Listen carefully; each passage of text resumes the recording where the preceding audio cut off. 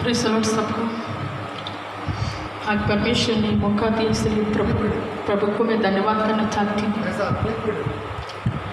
आज पहले वाणी बोलने के लिए परमेश्वर ने मुझे सरदा किया इसलिए प्रभु को मैं धन्यवाद करना चाहती हूँ।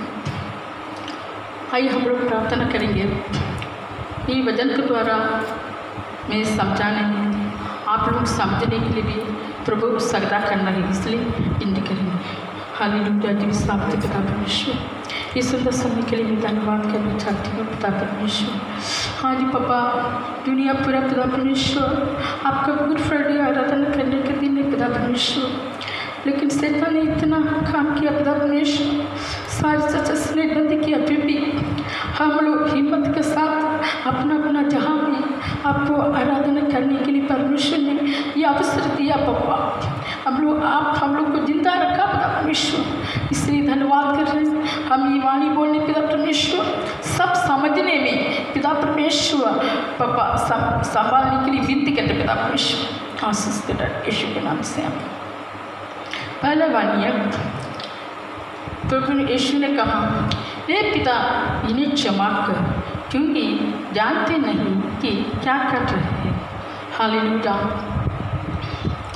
प्रभु यीशु को हम इसके बारे में ज़्यादा बोली नहीं चाहते क्योंकि आप लोग 18 साल से ये भजन सुन रहे हैं। कितना गुड फ्राइडे चल गया।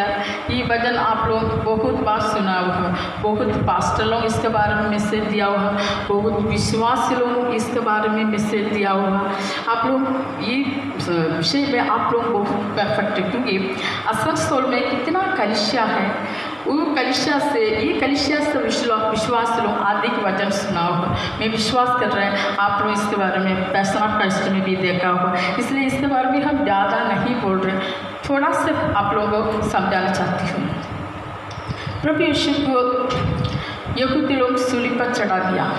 तब यीशु ने अपना आप को इतना वीर किया, इतना छोटा किया, इतना नम्र किया लेकिन हम लोग आज कहाँ है? हम लोग छोटे छोटे बात में कितना गुस्सा कर रहे जलन कर रहे विरोध कर रहे दाग कर रहे एग्ज़ाम्पल के लिए हम लोग हम लोग का परिवार को देख लीजिए। परिवार में हम लोग खुशी है। माता पिता कुछ बोलने से बच्चों लोग क्षमा कर रहे हैं। बच्चों लोग कुछ बोलने से माता पिता क्षमा कर रहे हैं। पति कुछ बोलने से पत्नी क्षमा कर रहे हैं। पत्नी कुछ बोलने से, पति क्षमा कर, सास कुछ बोलने से, बहू क्षमा कर रहे हैं, बहू कुछ बोलने से, सास क्षमा कर रहे हैं। हम लोग परिवार में देख लीजिए, हम लोग कितना साल से वज़न सुन, हम लोग परिवार में, हम लोग हम लोग को ये वज़न थे वज़न हम लोग के जीवन में काम अभी तक नहीं कर रहे, हम लोग क्षमा नहीं कर रहे प्रभु यीशु। सूली पर कितना वेदना का साथ सब कुछ सहन लिया, लेकिन वो सहन कर हम लोग के जीवन में नहीं है। हम लोग आज सारी चीज़ में क्षमा करना है। क्षमा हम लोग के जीवन में एक एक व्यक्ति के जीवन में क्षमा है तो वो सब कुछ पा लिया। हम लोग गुस्सा से कुछ भी नहीं कर सकता। गुस्सा हम लोग एक व्यक्ति के जीवन में आया तो गुस्सा उसके सब जीवन को ख़त्म करेगा। उसको खुशी को ख़त्म करेगा। उसको शांति को ख़त्म करेगा। उसको सब कुछ को ख़त्म करेगा। प्रभु यीशु हम लोग को क्या बोल के सिखाया? वो वेद हम लोग सब पालन करना है। आज हम लोग को देख लीजिए। एक एक केसल में भी देख लीजिए।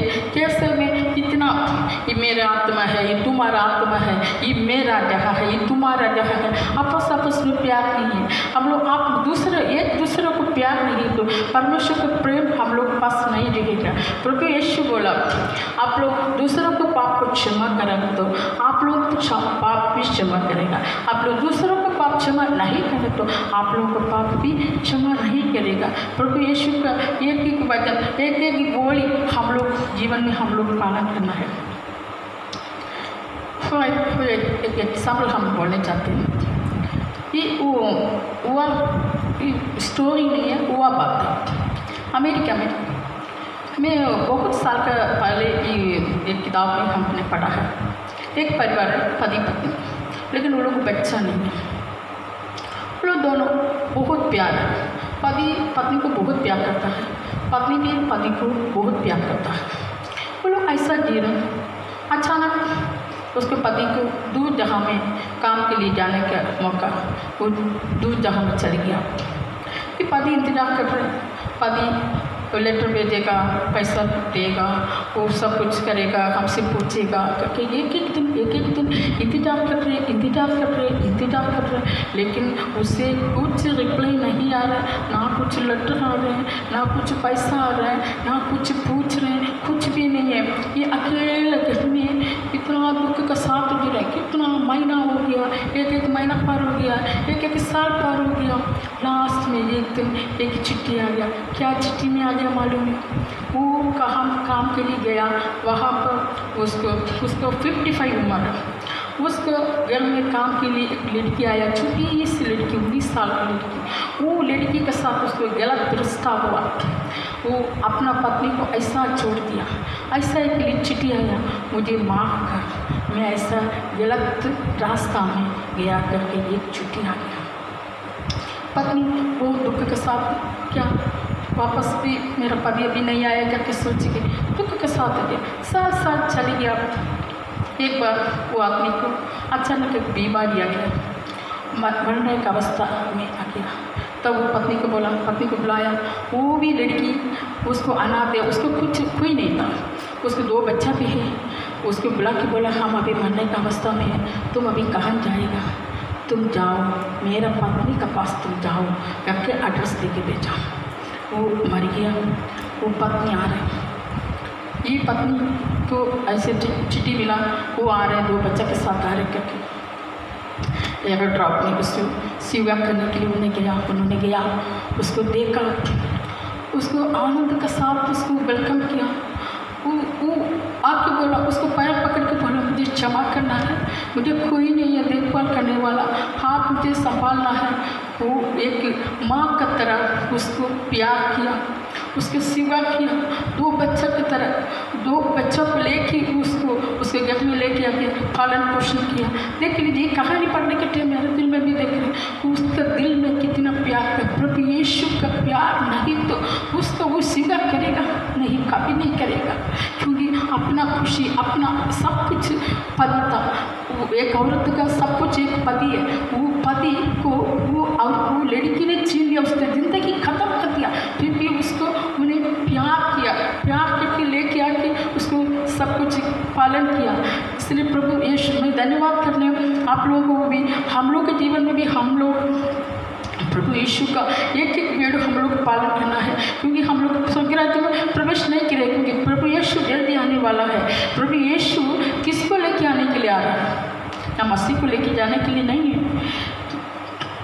ईश्वर अपना दुल्हन को लेके आने के लिए, मेरा जैसा डील डोल तक बैठने वाला दुल्हन को लेके जाने के लिए प्रभु ईश्वर प्रभु आगमन की हम लोग जाने के लिए, हम लोग भी यीशु की तरह नहीं दे रहे तो हम लोग जाने पाएगा लास्ट में हम लोग धोखा में फंसेगा आज हम ये बैठ कर, ये बैठ के द्वारा आप लोग को समझाना चाहती हूँ। प्रभु यीशु का आगमन दिलती है। हम लोग ये वज़न कर कितना साल से हम लोग वज़न सुन रहे लेकिन हम लोग के जीवन में कोई परिवर्तन नहीं है हम लोग बार बार गिर रहे बार बार गिर रहे बार बार कितना सुन रहे हैं लेकिन नहीं है, हम लोग के जीवन में क्षमा नहीं है, प्यार नहीं है, कुछ भी नहीं है। आज प्रभु के यीशु को प्यार हम लोग के जीवन में आने के लिए विनती कर रहे हैं। ये वचन आप लोगों के जीवन में काम करेगा कि विश्वास करें धन्यवाद यीशु।